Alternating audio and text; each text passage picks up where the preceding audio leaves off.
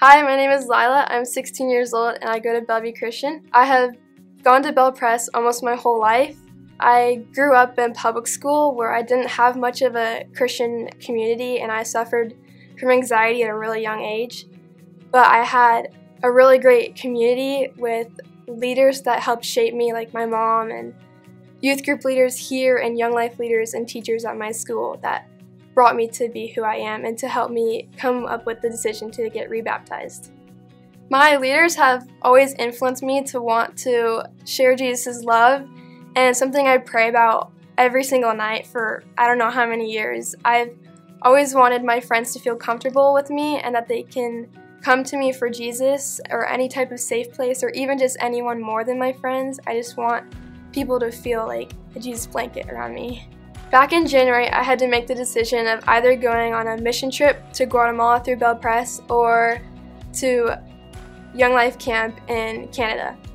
And it was a really hard decision, and I really tried to pray to God for what He wanted for me to do and what was the right decision.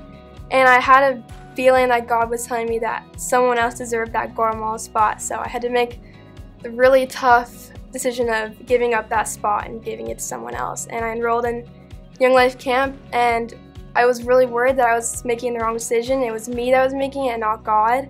But in the end, it really was God making that decision for me. And God really showed me that his part of his plan was for me to be at camp when we were my cabin group was in cabin time doing a devotional and it was really emotional and everyone was really connected to God and I said a prayer in my head just asking that my friends can feel comfortable and that they can come to me and that God can give me the words that they need.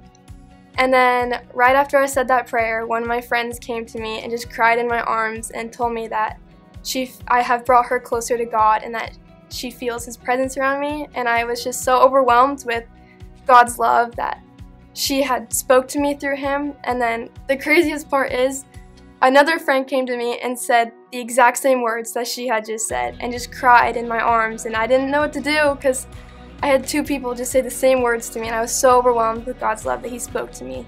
So at camp I had never felt so comfortable with God surrounded by all the big mountains in Canada. It was just so comforting to feel his presence and his love and I felt like all of my anxieties that had developed from my young childhood had just completely gone and I felt like I was ready to just dedicate my life to Christ.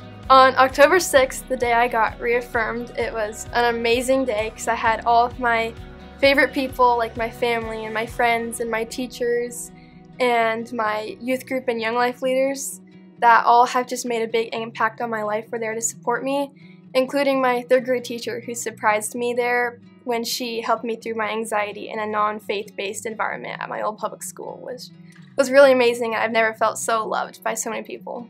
I was baptized when I was a baby, and I feel like that was more of my parents' decision. But now that I was reaffirmed and I got rebaptized, I feel like it's more of my choice to recommit and rededicate my life to Christ and do everything that I do for Him. After being baptized, I try to do more in my life for Christ, and I feel like I recognize God in others more. And since being baptized, I feel like my anxiety has been completely gone and it was left in the pool.